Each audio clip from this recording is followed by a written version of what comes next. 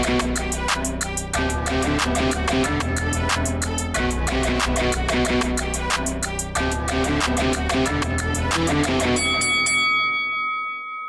are very excited and thrilled for this Saturday. Fox PBC Fight Night live on Fox and Fox Deportes is headlined by undefeated Polish star and Brooklyn native Adam Kownacki as he battles the exciting former title challenger, the hard-hitting Chris the Nightmare Arreola in a heavyweight showdown from Barclays Center, the home of Brooklyn Boxing. We get started at 8 o'clock Eastern 5 Pacific time and it features unbeaten interim WBA light heavyweight champion Sir Marcus Browne, also an Olympian, as he battles the former world champion Jean Pascal in a 12-round matchup. Also, Brooklyn's own Curtis Stevens dropping down to 154 as he squares off against Wale Omotoso in a 10-round matchup. Tickets for the event, they are going quickly. You can purchase them Ticketmaster.com or also at the American Express box office at Barclay Center, and all brought to you by TGB Promotions. And speaking of TGB Promotions, they have been so busy for the past several years. I mean, promoting events all over the world. And Saturday night is no exception. It gives me great honor and pleasure to introduce the president of TGB Promotions, one of the smartest minds that boxing has ever seen. Please welcome my dear friend, Mr. Tom Brown. Well, thank you, Ray, and thanks everyone for joining us for this conference call for what should be an amazing PBC on Fox and Fox Deportes card uh, presented by Premier Boxing Champions at the Barclays Center, the home of Brooklyn Boxing on this Saturday night. Brooklyn Boxing is now a very well-known brand in the industry because of the dedication to boxing and the support of Brett Yormark, the CEO of BSE Global. I'm very excited about this fight. I've been waiting for this one for a long time and I know Adam and Chris have as well. It's a very intriguing fight in the heavyweight division, a division which has certainly got a lot of attention and a lot of buzz lately.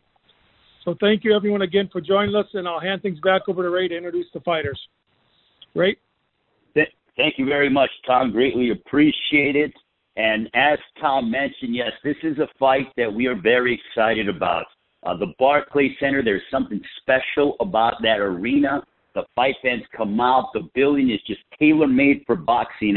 And on Saturday night, we have a heck of a main event with Adam Kownacki and Chris Arreola. Let's meet one of the participants in our main event of the evening.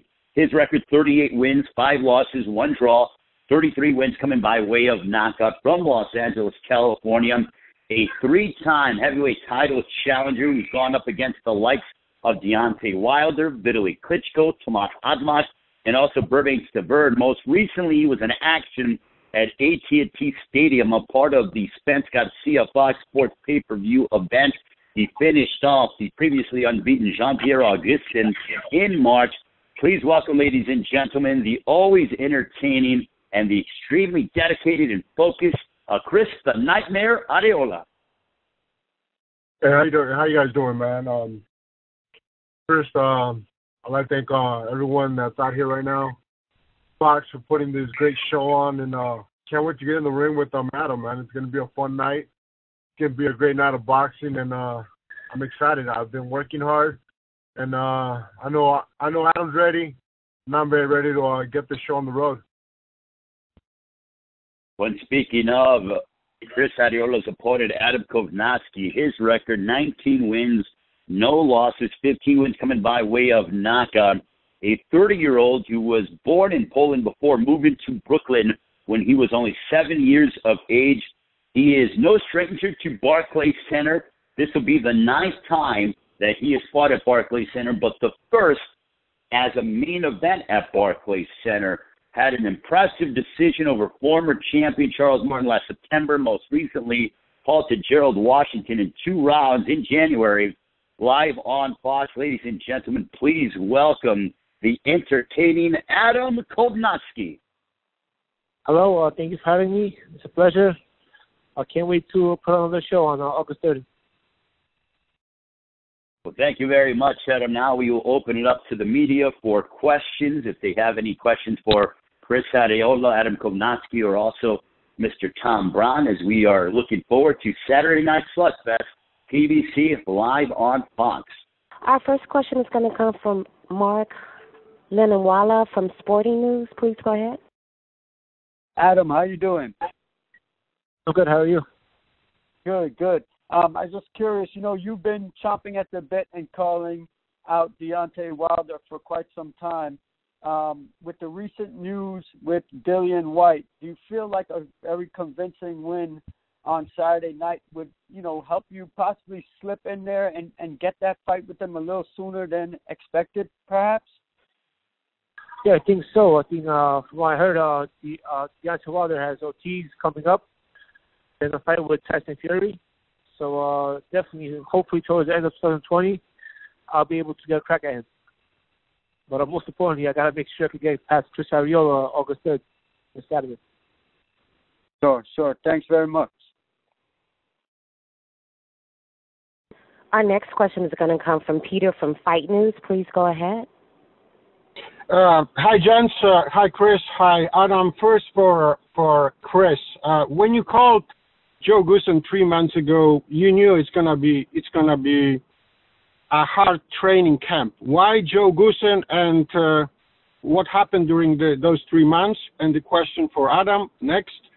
Adam, I know you many many years, and for many many years, the number one on your list was Chris Arreola. Why Chris? First, uh, Chris, if you can start with that. Well, um, the reason I I, I went with um, Joe Goossen is first I've I've known Joe for many years, man. I've always been a fan of Joe ever ever since the Castillo Corrales fight, and you know um, he's part of the family. Dan Goossen, uh, my old uh, promoter, rest in peace. So I've always wanted to keep it in the family. I like the way he works. I like uh, that he's old school, very old school, uh, kind of a uh, coach.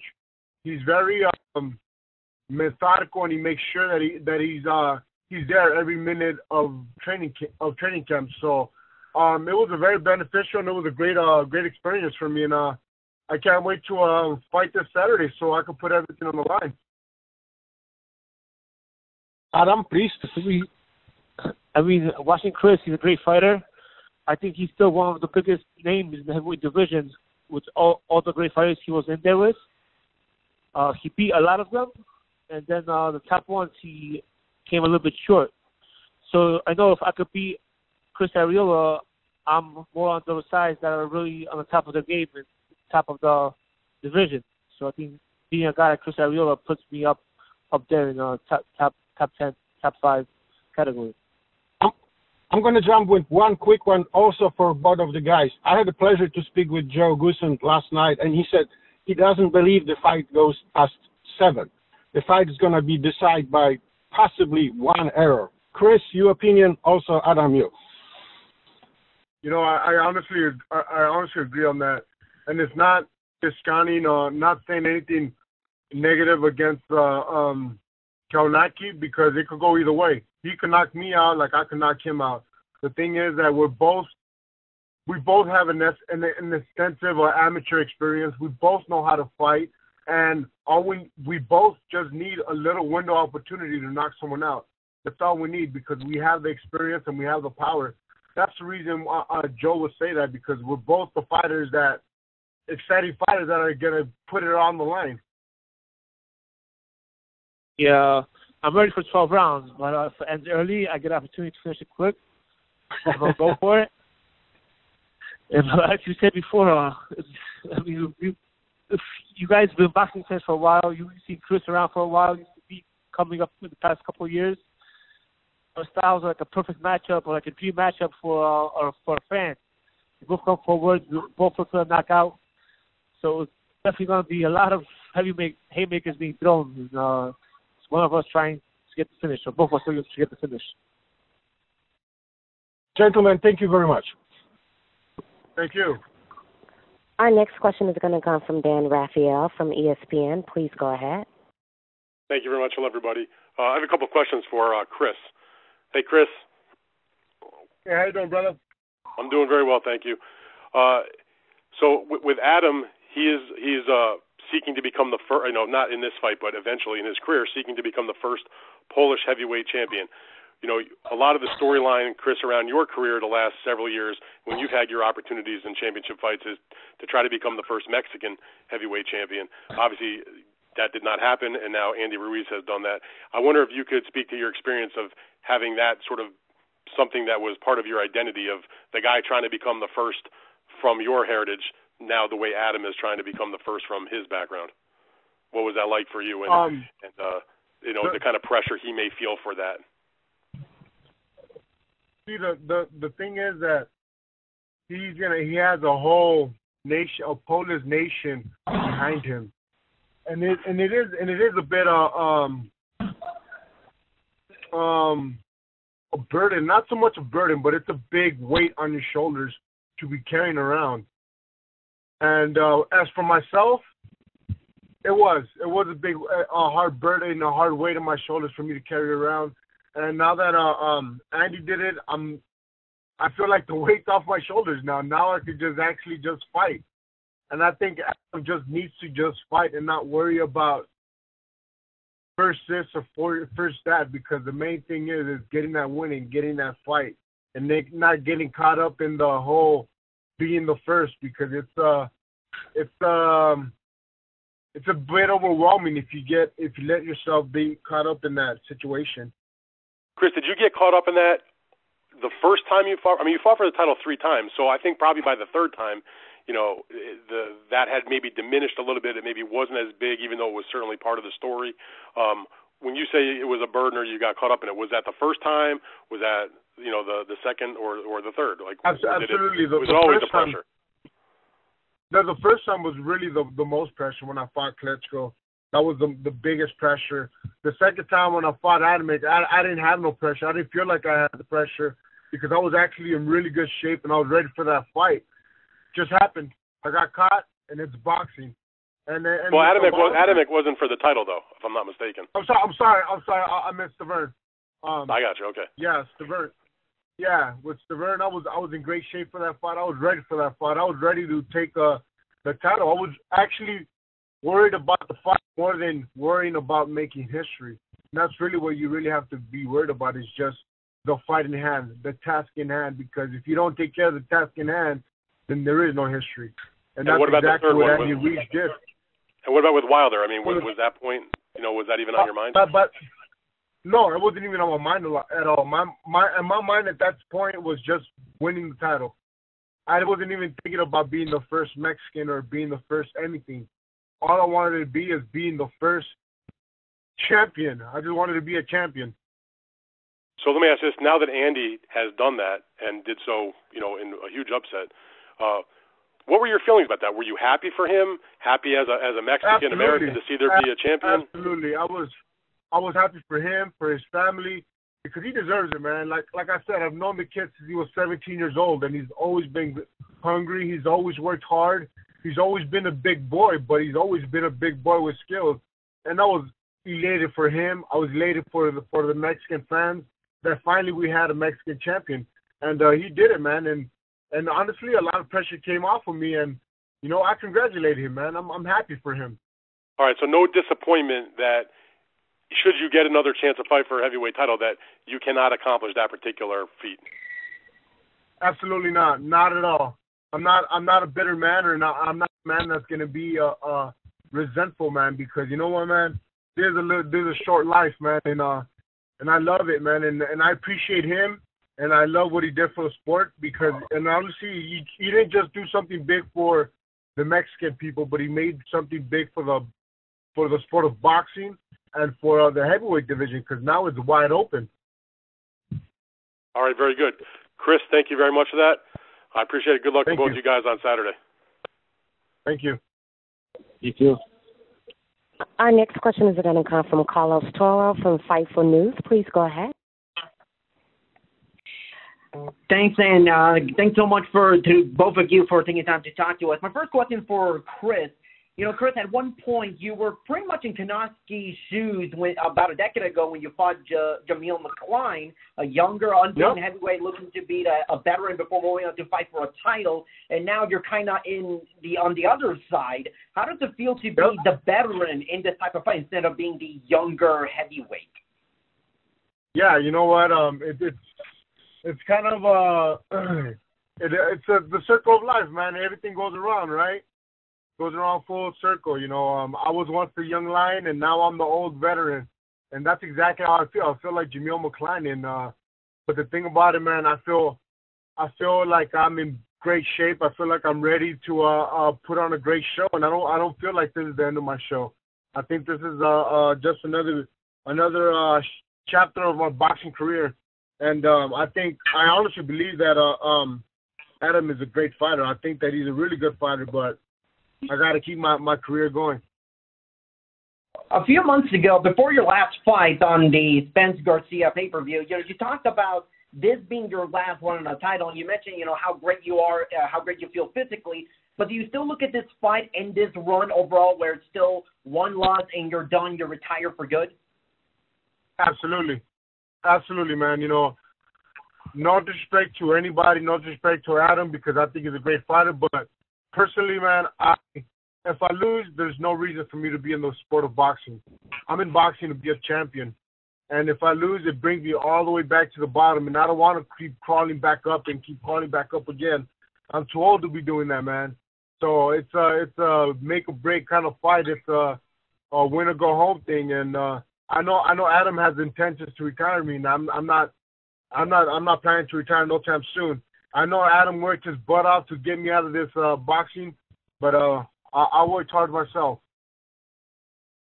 Thanks, Chris. And uh, Adam, a uh, quick question. You know, and you fought in Brooklyn at the Barclays Center countless times, but this being your first main event at the Barclays Center, especially uh, on a big stage like uh, fighting on Fox, how do you feel, you know, getting that opportunity and potentially maybe enticing a guy like Deontay Wilder to fight, especially if you get a big win over Chris?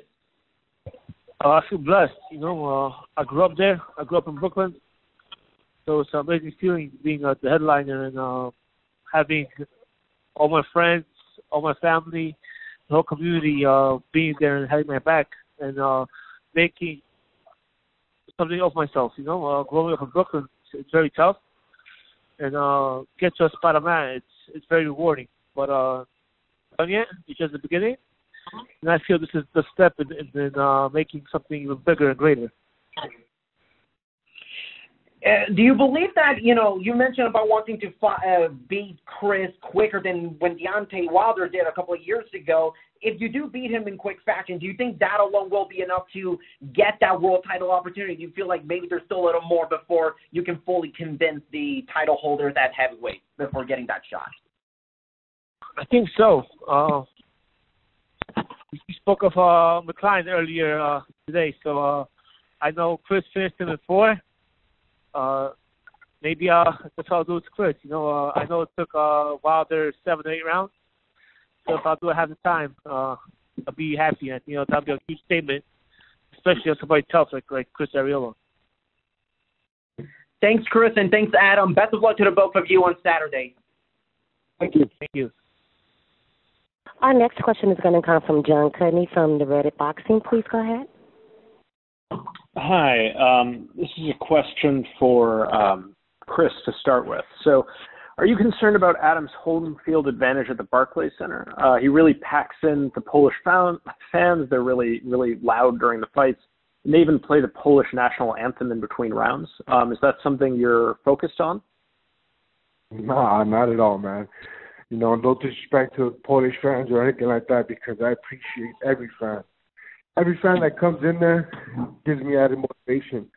Even gives me added motivation. At the end of the day, it's gonna be me and Adam in the ring. There's not gonna be no fans in the ring. So I'm okay. Okay, thanks a lot. So question for Adam here. Just wondering if you can talk about how big your ambitions are in the sport. You almost you always come off as such a humble guy. So the question is, uh, do you picture yourself and imagine yourself as a future heavyweight champion with all the money and celebrity that can come with that, or do you really just take things one fight at a time? Uh, I mean, that's my goal. Uh, I have a clear mission to be the first Polish world heavyweight champion of the world,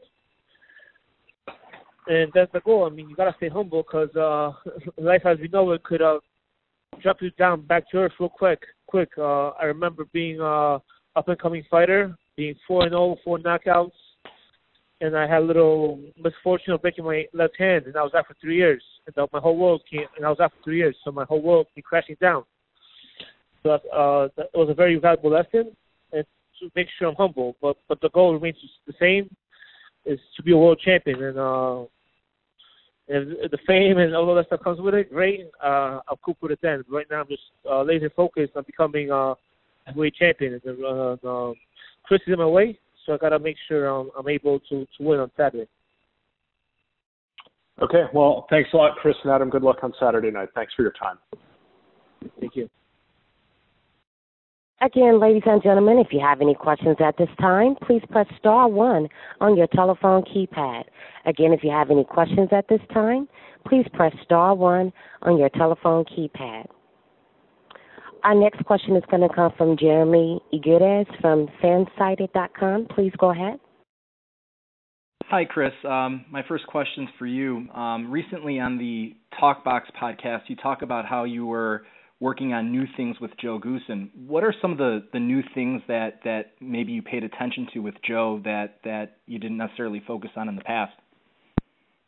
Oh, you know what? One of one of the main things that Joe does is uh. You make sure that you throw your jab right, your right hand right. So I think that my punches are gonna come out the come out the pocket a lot smoother, a lot a lot better, a lot more fluid.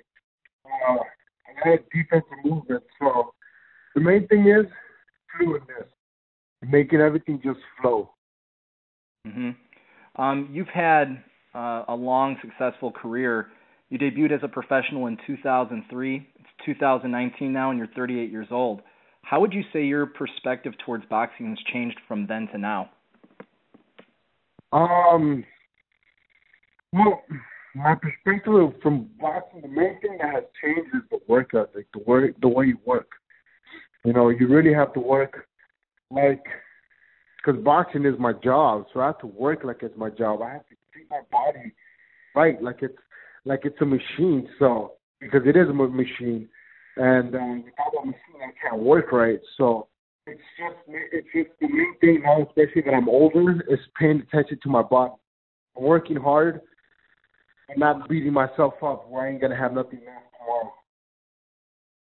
Um, what's the biggest thing that, um, obviously, other than than working hard, what's the biggest thing that that you think you've learned over the years of doing this? What's the biggest piece of knowledge that that's been invaluable to you as a veteran?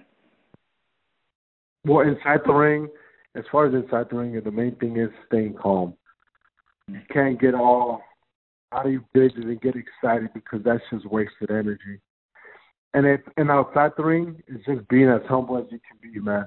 Because you got to remember, you're nobody without the fans. And uh just like that, they could they could pull the the carpet under your feet and then you can land flat in your face. Gotta be humble. Gotta respect everyone the way you want to be treated. So that's just my main thing. Oh yeah, and moderation. Everything in moderation can be can be crazy. Well, thank you, Chris. Last question for Adam. Um, Adam, you and Chris are very physically uh, similar to each other, same height, same reach. What do you feel that that you do that separates the two of you? Uh, actually, it's just it's very similar styles. I mean, we fight very similar. We throw a lot of punches. We both come forward. So it's, I guess it's going to be a a more experienced lion fighting a younger, hungrier lion. You're going to see who's who, who who's uh whose game plan lands on top. I mean, I think if you took any fighter, me and Chris are so similar, like I said, so many uh, aspects from our height, our reach, the way we fight. It's going to be uh the experience could uh stop the youth and the youth. Mm-hmm. Gentlemen, thank you very much, and best of luck to you both. Thank you. Thank you. Okay, our next question is going to come from Josh Kowalski. Excuse me. From Forbes, please go ahead. Hey, this question is for, for Adam. Um, th- there was a lot of talk made last weekend about uh, Jose Ramirez and Maurice Hooker fighting because it was kind of matchroom boxing and top rank boxing, breaking down that so-called you know political line between the two, and they were able to get top-notch fighters from from two competing promotions. And, and then you know obviously with, with Lomachenko and Campbell Air this year is, is kind of the, the return match for Top Rank and, and Matchroom. Uh, is, is is that for? Do you think that's a good thing for boxing to be able to kind of break down since kind of break down this like other side of the street mentality? Uh, I mean, let's wait and see. I mean, uh, but yes, boxing is also like uh, good because everybody's their own boss. Uh, I think what PBC is doing with boxing is great. It gives you gives us a platform to perform, and uh, I think it got to make sense for the fighters. I mean, a lot of great fights have been made. If it was uh, Pacquiao versus Mayweather, I mean, Pacquiao was with with Top Rank, Mayweather was with, with uh, Al Haymon, and that fight was made. So uh, I think it's just uh, better coming to agreement where where everybody's satisfied. No, I guess it's just because lately it's been um, in the last couple of years, it seems like it's it's gotten more politicized, and that's been it, those fights have, have become harder to make. But with you, if, assuming you beat Chris, and and maybe you, at some point you want to fight Anthony Joshua, or you want to fight Dillian Whyte, guys with Matchroom or, or whatever, because of the affiliation with PBC, are you are you pretty confident those fights can still be made that that you can kind of cross that divide? Of course, uh, um, all these fights, uh, cross boundary promotions ha- haven't made in the past. Uh, Ruiz was was a PBC fighter, and he fought uh, Anthony Joshua. So uh, the fights could happen. It's just a matter of coming to agreement where every, every both sides are satisfied and happy with the deal. Appreciate it, man. Thanks. Our next question is going to come from Keith Idec from theboxingscene.com. Please go ahead. Uh, yes, my question is for Chris. Uh, Chris, being that Adam is a heavy favorite in the fight, and you're viewed as kind of the older guy, and you know you obviously have some losses on your record. How much motivation has that given to you that you're kind of, in in some respects, being counted out in this fight? Um, I don't even pay attention to the odds, to be honest with you. But my my my only my main motivation is win or go home. This is that's my motivation. My motivation is to keep fighting to keep putting food on my my family's table, keep making a making a living off of boxing. That's my motivation. No disrespect to the odd makers or anything like that, but you know, like uh, uh, Jeff Mayweather says, they don't know shit about boxing. Chris, uh, uh do you view this as, as your last chance, basically, so to speak? Absolutely, this is my last chance, man. This is my last chance, not because uh, the media or anything. This is my last chance because I say so. You know, if I lose, I go home. No matter if it's a great fight, if it's it's a great fight or a great event, or it's a could have gone either way. Plain and simple. I lose, I, I go home. I stay home, uh, one and done, no more. So this is this is my added motivation. This is this is what I this is all I want. This is what I'm living for. Thank you, Chris. And, and a uh, question for Adam. Adam, how how much more dangerous does that make Chris, being that you know he's toward the end of his career and he does view this as his last opportunity to kind of get where he wants to go? How much more dangerous does it make him? Uh, a lot. I think uh, a desperate man is a uh, dangerous man, and I think he's he's very desperate to, to get another title shot. He had two knockout wins, and uh, he's on the roll. So I got I'm prepared for the for the best Chris Arreola. You know, I know he's gonna come forward. He, he looks in great shape. I just gotta make sure uh, I have a better game plan and uh, that I'm in better shape, which uh, I know I, I put in a lot of hard work. Thank you, guys. And our last question for today comes from um, Chandler Willard from the Boxing Social. Please go ahead. Hi, yeah, yeah. Just have a question for Adam. Um, Adam, like it's previously been mentioned, that you're on a journey to become the first Polish-born heavyweight champion of the world. Um, with your assessment of Ruiz Joshua 2 later this year, how that goes, and uh, mandatories to take place even after that, uh, Deontay Wilder having his next two fights um, with Ortiz and Fury scheduled. When do you think your world title shot will come, and what do you intend to do until then? Uh, keep training. Uh, I got keep in shape. I could have had an opportunity to fight Anthony Joshua, but uh, I was out of shape, so I didn't pick up the challenge. So uh, from now on, I'm in the f- boxing. That's it. Just uh, because the title shot could come around the corner on a couple weeks' notice because injuries and uh, accidents happen. So uh, I'm definitely just got to be in camp nonstop, always working and uh, perfecting my craft. Okay. And uh, just how do you see Ruiz Joshua 2 uh, later this year? How do you see that fight going? Do you expect one of the belts to be vacated and maybe you fight for a vacant title? Maybe uh, that's a possibility, but uh, boxing plays itself out. I think boxing is a great sport, always full of surprises. So you gotta wait and see what happens. Okay. Thank you for your time. Our next question is going to All right, come well- from Keith Addington, What up, Reed? another question from BoxingScene.com. Yeah, uh, yes. I just had a quick follow-up question to what Adam just said. Adam, you know, based on what happened in the Ruiz Joshua fight, I- I know styles make fights, and you don't fight the same way necessarily that Andy Ruiz does. But did you regret not being ready when that call came, just because of Joshua was was upset in that fight? Yeah, I mean, I was upset I was not in any shape. You know, uh, I wasn't in boxing shape. Uh, I went to fight. It was my birthday. I found out my wife was pregnant, so I enjoyed life a little bit, which which I regret because uh, boxing is my full time profession. And uh, since that came call, I was like, yo, I gotta get, get in shape and make sure that never happens again. So it was a learning lesson, which uh, maybe stopped me from becoming uh, or or from achieving my goal a little bit faster than I would have. But uh, at the time, I wasn't ready, so it was the right choice and uh, just gotta continue to build on it. You know, that's what life is about. It's about getting new uh, experiences, learning new lessons, and not making making sure you don't repeat those mistakes. So uh, I'll definitely be in shape now, and if a call comes again in the near future, uh, I gotta be ready.